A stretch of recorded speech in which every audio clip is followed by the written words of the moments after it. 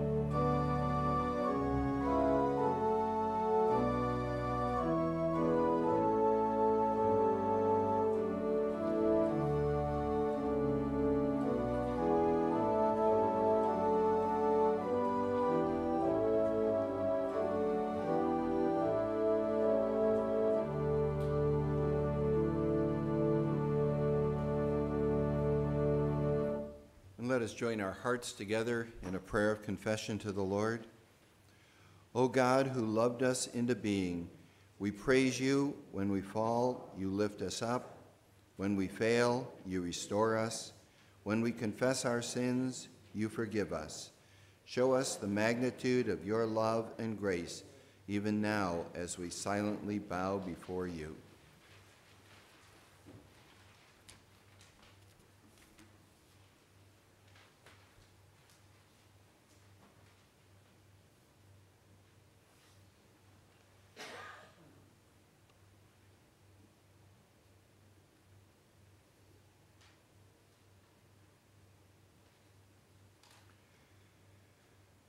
Lord, the prophet Isaiah, you put the words in his mouth that said, Come, let us reason together, says the Lord. Though your sins are like scarlet, they shall be as white as snow. Though they are red like crimson, they shall become like wool. We give you thanks for your generous forgiveness. In Jesus' name, amen. So I failed to print in the bulletin the fact that I would do a children's message, which is basically this morning just simply to uh, tell a, a, Bible story. And so um, it's about a man named Noah. He was the only man on the face of the earth, and there might have been millions or billions of people on the earth at the time. He was the only one that was worshiping the Lord God. And uh, the Lord decided that uh, it was time for the human race to have a new start, that he would uh, judge the entire world, and that uh, he would spare Noah and his family, and from them he would repopulate the earth. Well, I mean, God gave Noah a very strange command. And that command was to build this enormous ark. Uh, I, I, forget the exact dimensions of it, but it was huge. And uh, God gave him very specific instructions on how to go about constructing it. But it must have taken him a long, long time to build this ark. This was not, you know, something that uh, was uh, up and running in a week. It, it may have taken 50 years. It, it may have taken 100 years. Uh, we don't exactly know. All we know is that Noah had a word from God that God was going to flood the earth and that he was to obey God by building an ark. And he was doing this on, uh, on plain ground, like, like almost building this ark like in a place like Boylston, where you know, we were far away from a, uh, well, not far away from a significant body of water, but you know, he was building it on dry land. And uh, people would come and they say, you know, what in the world is this all about? I mean, this is craziness. And uh, Noah would just say that the Lord said uh, that he is going to flood the earth, and the Bible calls him a, uh, a preacher of righteousness. And he uh, encouraged other people to follow him in his pursuit of God but the people ignored him. And the only evidence that uh, he had that something was going to happen was that uh, God said it. Uh, there were no meteorologists predicting a, a universal flood. There, were no, um, there was no way to foresee this thing. Uh, there was nothing that, um, you know, uh, collaborated with what God had told him.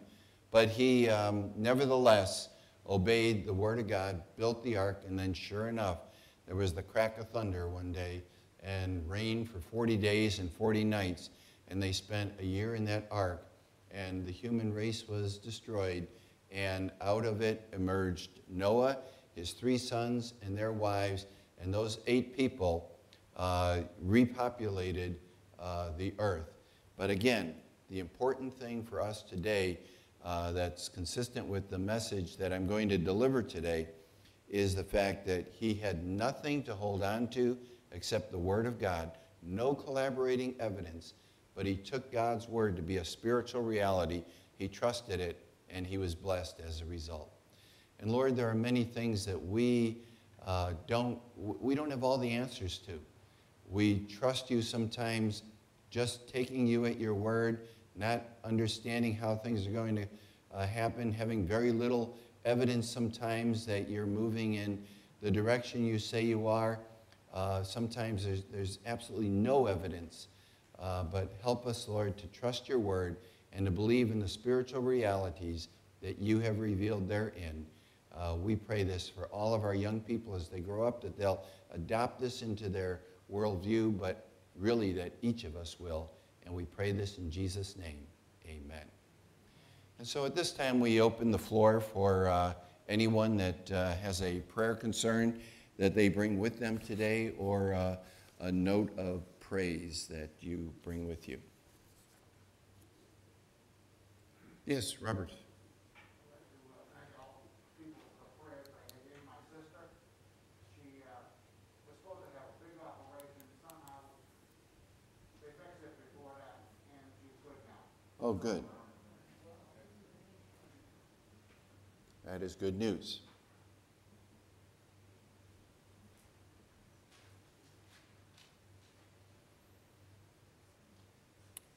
you Marcia.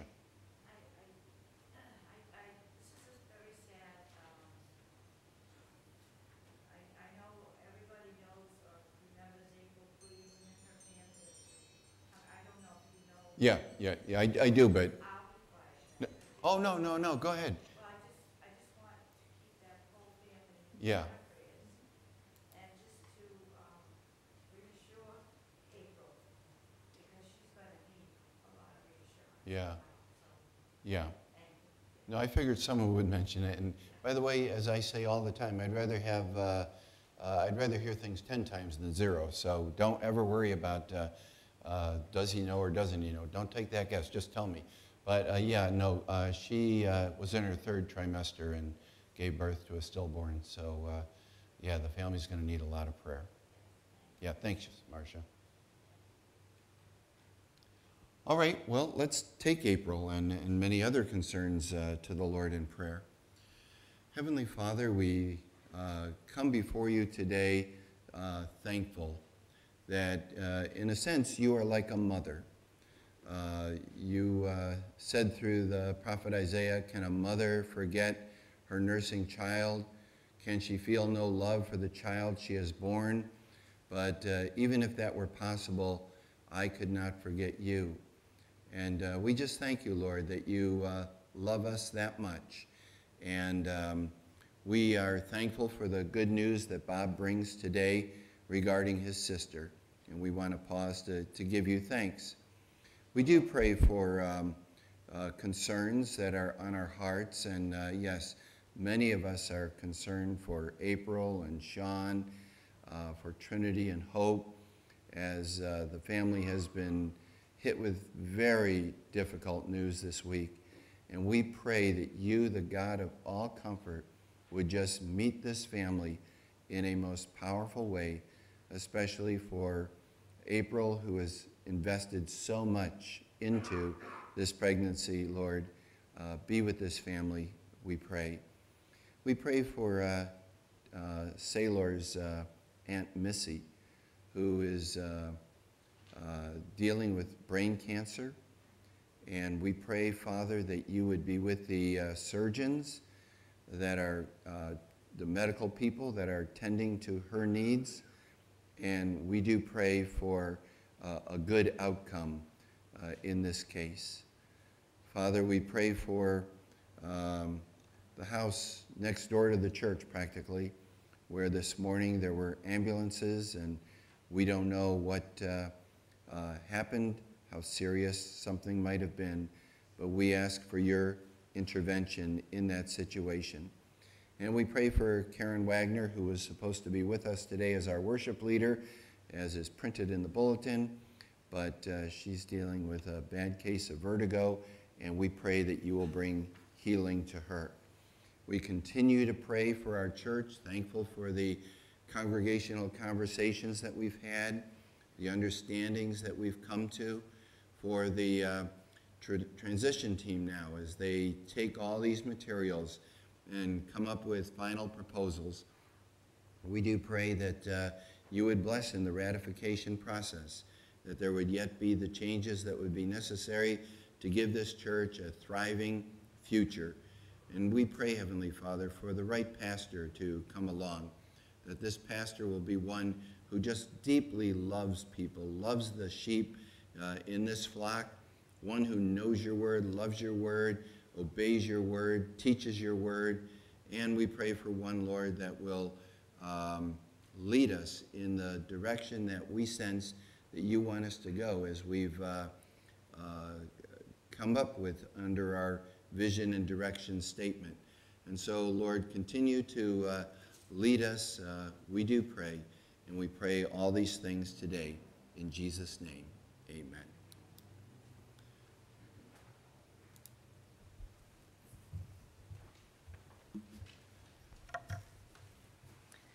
Scripture readings for today. First scripture reading is from Deuteronomy 18, verses 9 through 14. When you enter the land the Lord your God is giving you, be careful not to imitate the detestable customs of the nations living there. For example, never sacrifice your son or daughter as a burnt offering, and do not let your people practice fortune telling, or use sorcery, or interpret omens, or engage in witch- witchcraft, or cast spells, or function as mediums or psychics, or call forth the spirits of the dead. Anyone who does these things is detestable to the Lord. It is because the other nations have done these detestable things that the Lord your God will drive them out ahead of you. But you must be blameless before the Lord your God. The nations you are about to displace consult sorcerers and fortune tellers, but the Lord your God forbids you to do such things. Second scripture reading is from Hebrews chapter 11, verses 1 through 12. Faith shows the reality of what we hope for. It is the evidence of things we cannot see. Through their faith, the people in, old, in days of old earned a good reputation. By faith, we understand that the entire universe was formed at God's command, that what we now see did not come from anything that can be seen. It was by faith that Abel brought a more acceptable offering to God than Cain did. Abel's offering gave evidence that he was a righteous man, and God showed his approval of his gifts. Though Abel is long dead, he still speaks to us by his example of faith. It was by faith that Enoch was taken up to heaven without dying. He disappeared because God took him. For before he was taken up, he was known as a person who pleased God, and it is impossible to please God without faith. Anyone who wants to come to him must believe that God exists and that he rewards those who sincerely seek him. It was by faith that Noah built a large boat to save his family from the flood. He obeyed God, who warned him about things that had never happened before. By his faith, Noah condemned the rest of the world, and he received the righteousness that comes by faith. It was by faith that Abraham obeyed when God called him to leave home and go to another land that God would give him as his inheritance. He went without knowing where he was going, and even when he reached the land God promised him, he lived there by faith, for he was like a foreigner living in tents. And so did Isaac and Jacob, who inherited the same promise. Abraham was confidently looking forward to a city with eternal foundations, a city designed and built by God. And it was by faith that even Sarah was able to have a child, though she was barren and she was too old. She believed that God would keep his promise, and so a whole nation came from this one man who was as good as dead. A nation with so many people that, like the stars in the sky and the sand on the seashore, there is no way to count them. May God bless the reading and the hearing of these verses.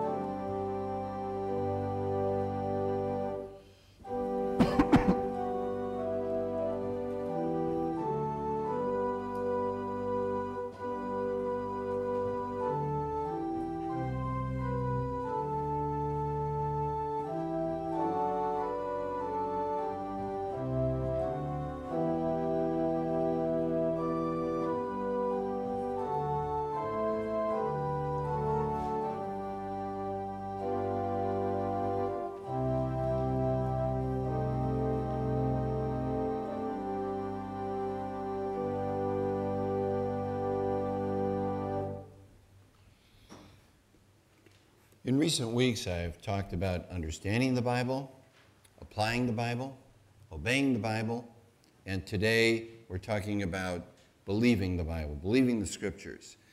And I'd like to start with Colossians chapter 1 and verse 16. I can't see, so uh, do we have that up there?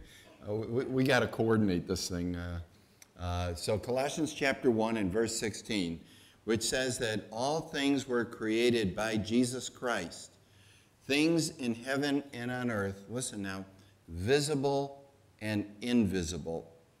It is fundamental to a Christian worldview that we believe that the universe consists of visible and invisible components. Uh, the, um, uh, there, there's more to the universe than meets the eye, as the saying goes. And if you think about it, worldwide, um, there, there's just very few, very small percentage of people who are purely naturalistic. Uh, almost everybody in the world sees a spiritual dimension, something other than the material that we can see uh, as part of the universe. But how can we learn about the invisible realities in the universe? There is a, a right way and there is a wrong way, and I have a slide for that wrong way. Uh, the wrong way is to engage in these practices that we just read about in our scripture that are forbidden by God, that He considers to be an abomination. Uh, a small list of those would be things like astrology, charms, where you kind of feel like there's spiritual powers uh, involved in different uh, tangible objects, uh, maybe uh, crystals or maybe a rabbit's foot or something like that. Uh, there's divination, which is trying to uh, discern the future. that might be palm reading, tarot cards, crystal ball kind of stuff. Um, there's sorcery and witchcraft, which is trying to um, manipulate reality, move things uh, usually in the direction of blessing or usually in the direction of cursing, but you're trying to move reality uh, in an individual's life or in the life of a family or in the life of a, uh, a nation or a group or whatever. Uh, and then there's uh, contacting the dead, uh, like in seances and so forth, which is forbidden. And so um, I could probably show you 50 to 100 verses. Uh, I looked up a bunch of verses this week, um, and there, there were just too many to, to quote, you know, but I could probably show you 50 to 100 verses. So what I did was I took that scripture reading, which mentions quite a number of things, where there shall not be among you those who practice divination or tell fortunes or interpret omens or a sorcerer or a charmer or a medium or a necromancer, I don't know how to pronounce that, or one who uh, inquires uh, uh, of the dead. Um, whoever does these things uh, is an abomination to the Lord. So, those are some of the wrong ways that we can become familiar with the intangible elements uh, of the universe, at least as the, the Bible describes. Uh, the way that we are to, the right way to become involved in um, uh, aware of spiritual realities is, is by the scriptures. And, um, and so, uh, you know, in the scriptures we read about God, right? God's invisible. Nobody has ever seen God. That's an intangible, he's an intangible reality. All of his attributes and his characteristics are uh, intangible realities. His involvement in the world, is kind of behind the scenes and it's an intangible uh, element. There's angels and Satan and demons uh, that are said to be involved in our lives. There's uh, a power within us that we call sin uh, or the flesh. Um, and uh, and we, we sin against God and we need forgiveness. Well, it's not like a, uh, you know, um, a certificate comes down from heaven saying you've been forgiven. We, we know of these spiritual realities by the revelation that God has given to us. Um, God's acceptance of us, our reconciliation to God. The uh, uh, second coming of Christ is not something that we have tangible evidence of, but it will take place, as will the resurrection, the judgment, eternal life, heavenly rewards, heaven and hell, and a hundred other invisible realities that the only way that we know of these realities is because God has revealed them in His Word. And it's very important that we understand that these are not mere metaphors. Uh, sometimes we say, you know, oh, he's dealing with his demons. Uh, but, and that's okay, that's a good analogy, but we don't want to uh, use that kind of thinking, of metaphorical thinking, to think that there isn't such a thing as uh, demons that are involved in the world. Um, or we might say, well, we make our own hell, but we don't want to take that to the point that we don't believe that there is such a place uh, as hell, etc. Now, what, what faith is, faith is believing that these spiritual realities are just as real as the material realities that we see around us. It's kind of like a, a, a, spectrum, if you will. Uh, maybe at the one end of the continuum, there's the idea that the world is totally naturalistic, it's totally physical, it's totally cause and effect, and that there aren't spiritual dimensions involved in that. And again, it's a very small number of people that uh, truly believe that.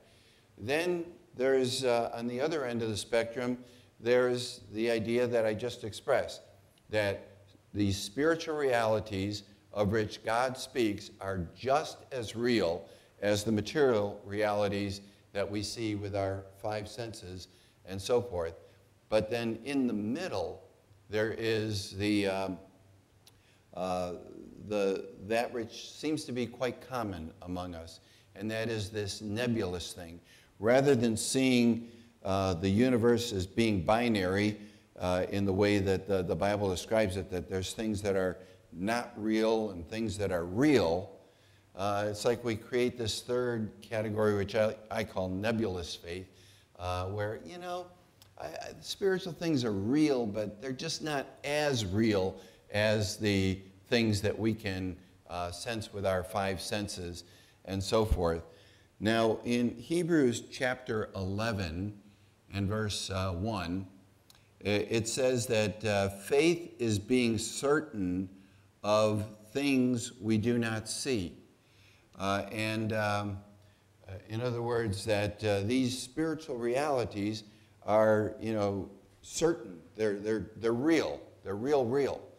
And um, if you look at Hebrews 11.1, which we just read, in the context uh, of the scripture reading that we read, um, what it's saying is that the things of which God speaks are just as real as the material things, that that is just as good of evidence as our own senses uh, provide us with, with uh, tangible things.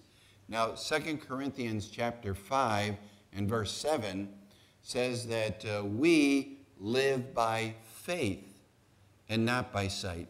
In other words, we don't just live based on our five senses. We live also on faith that what God has revealed in His Word is absolutely true.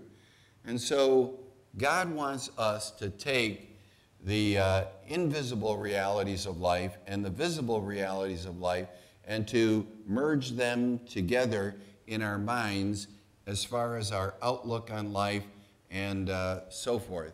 So um, we live every day with the reality that God really exists and that we exist for His purposes since He created us for His purposes. We believe that there's a God who is holy and righteous in all His dealings, present everywhere, all knowing, good, loving, full of mercy, grace, forgiving, compassionate, sovereign, all powerful, all understanding, faithful to His self and to his word and his promises, uh, unchanging, and, and, so forth. That this, this is the God to whom we are relating. Um, that we live every day with the reality that we have an enemy in Satan and demons. Um, as it says in 1 Peter 5 8, you know, that we have an enemy, an adversary who lurks around like a roaring lion, seeking whom he may destroy. Um, we have the reality that Jesus died on the cross to pay the penalty for our sins. We have the reality that there are sinful tendencies within us. We live with the reality that God forgives us. We live with the reality that the Holy Spirit indwells those who truly believe in Christ and that He is working in their lives in order to make them more and more like Jesus. And we could go on and on and on with these spiritual realities uh, incorporating them into our lives. In a full Christian worldview, uh, we have these uh, visible and invisible realities uh, woven together uh, in the way that we look at the world. And I suspect that uh, all of us fall to some degree short of being the uh, people that God wants us to be in that because um, faith is a growth issue. It's an area not that we were ever perfected, but that we're constantly growing in, so that we're growing in our ability to see the invisible realities of which God speaks as being just as real as the things that we uh, uh, have with our five senses. And so, um, you know, there's uh, someone that came up to Jesus one time, and Jesus said, Do you believe? And uh, the person said, Lord, I believe, help my unbelief. And that often describes my condition, and I just have a feeling it probably describes most people's condition. That, yeah, I believe, but, you know, there's still room for uh, growth in my faith. Uh, faith is like a muscle that, uh, you know, uh, gets developed and that we uh, grow with uh, over time. So faith is a virtue that God wants each of us to be growing in. Now, in Hebrews 11:2, we read, "By indeed by faith our spiritual ancestors received God's approval." And if we were to keep on reading through Hebrews 11, there would be person after person after person who had no tangible evidence that God was going to do what he said he was going to do, but they, they believed the word of God. That was the evidence for them. And they were uh, honored in this chapter, which many people have called the Hall of Faith. Um, but we talk, first of all, about a guy named Noah. Uh, Noah, you know, I mentioned him, right? He had no evidence that God was going to flood the world. There was no meteorologist telling him, you better get ready for this. Um, this was something that uh, he just took uh, God at his word and was commended uh, for his faith. But a story that I'll share as part of the message is that of Abraham, and that's the next slide. Um, you'll remember that uh, God told Abraham that I am going to make your descendants into a numerous and great nation. And so here he was, an old man at about, uh, oh, I forget how old he was at the time, but, but I mean, he was old, and, um, you know, and there was no baby coming along. He and Sarah weren't conceiving. And, um, you know, he was still trusting God that God was going to fulfill his promise. But then they actually went beyond the stage of uh, where, you know, normally you would uh, be able to have a child. Uh, and so, uh, but they were able to supernaturally uh, conceive. And finally, after 25 years of having no evidence of a child coming along except a word from God, finally, a child by the name of Isaac, that they gave the name Isaac, was born. And uh, uh, of course, they were extremely pleased about this. And then, uh, like um, 12 or 13 years go by, and God issues a very strange command to Abraham. He says, Abraham, I want you to take your child and I want you to um, go up to the top of Mount Moriah. I want you to subdue him and I want you to sacrifice him to me as if you were sacrificing an animal sacrifice. Now, here they had waited all those years for that pregnancy. Here the child had grown up for 12 years, and now uh, Abraham is being told to sacrifice this child. Well, it was a test of faith on the part of God. Abraham obeyed. Um, as it said in our scripture reading, Abraham reasoned that God could raise the dead, and figuratively speaking, uh, he did sort of raise Isaac uh, uh, back from the dead. Uh, and so, um, you know, again, no evidence that God was going to fulfill his plan and a very slow start in, you know, creating many descendants, but Abraham just believed God that it was going to happen. He's commended in there. He's considered the father of faith. He's in, we're encouraged in Scripture to have faith like Abraham had. Well, let me share just a few uh, examples of, uh, you can go to the next slide, Tom, a few examples of the way that, you know, this kind of works uh, in my life, but I'm, I'm not doing this so that you know how it works in my life. I'm doing this so I can trigger things in your minds of ways that it is working or can work uh, in your life. Uh, take me being an intentional interim minister. Um, I don't know if you can imagine this, but every church is different. Every church has a unique set of issues and problems. Every church has, you know, landmines that you got to be careful not to step on, you know. Um, and every church has personalities in it. And so, you know, um, quite honestly, I don't feel like I have everything up here. Although, you, know, you might consider me seasoned and, you know, you know, kind of like been around the block a few times. I don't have everything up here that every church needs, but I know who does. And uh, there's a scripture here that if any of you lacks wisdom, he should ask of God, who gives generously to all without finding fault, and it will be given to him. But when he asks, he must believe, he must have faith, and not doubt, because he who doubts is like a wave of the sea, blown and tossed by the wind. That man should not think that he will receive anything from the Lord. He is a double minded man, unstable in all he does. Uh, and so, you know, and now you can go to the slide that was before this one. Um, uh, originally, I was going to be doing this, but Tom volunteered, and I kind of like it, and I'll, I'll, re- I'll rearrange things in the future here so we can do this more smoothly. Um, but so, in other words, and I don't think any of you have all the wisdom that we need to know how God wants us to have a, uh, a thriving church. Uh, and so we can look to the Lord uh, on the basis of his promise for that wisdom. Uh, so we're dealing with real life situations here, but we can bring in that spiritual component uh, of God given wisdom. But let me be a little shorter with a few more examples. Um, the news really gets to me. Uh, I don't care if I'm watching Fox, CNN, MS, NBC, it, it doesn't matter what the source is. The news agitates me because there's so much going on in the world that is just so wrong. And, um, and I get this magazine too that summarizes uh, the previous week's news. And it tells me about things going on in the world that we never hear about in our media. And you know what? It could get kind of depressing, but it doesn't.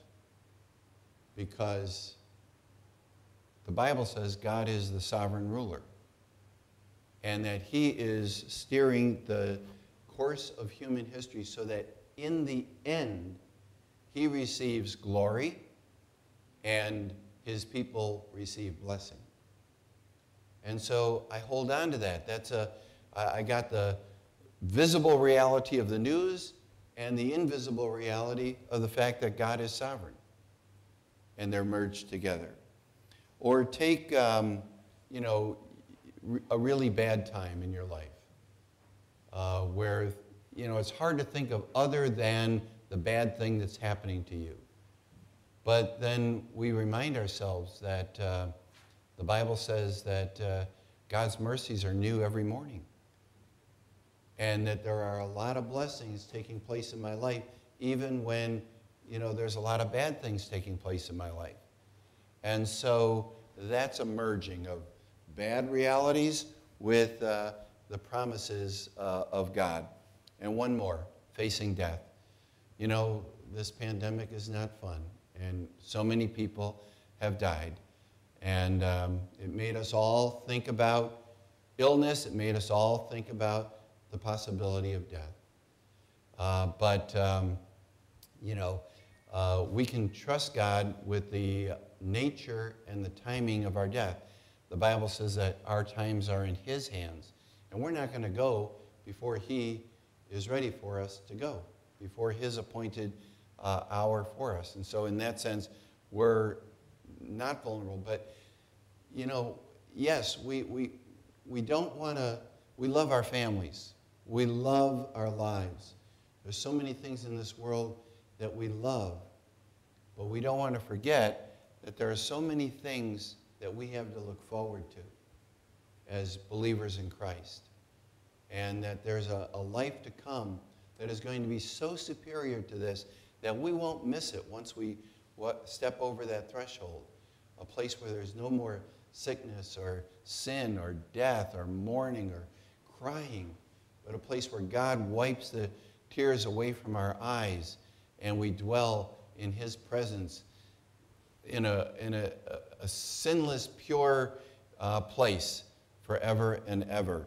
And so, you see, we can take those visible realities of life that we're dealing with and we can merge them with the spiritual realities of which the Bible speaks, and that's called faith. That's what the Bible means by faith. So we close with this question How integrated are the invisible and the visible elements of your life in your, uh, in your, in your life? And um, how much uh, faith do you have? And is there room for growth? So, Heavenly Father, we just pray that you will uh, be with us as we all walk through this life. This life in which we have to uh, trust so many things that you have said within your word. But we do pray that there will be a convergence of spiritual realities and the invisible realities of which you speak that will carry us through each and every day. We pray in Jesus' name. Amen.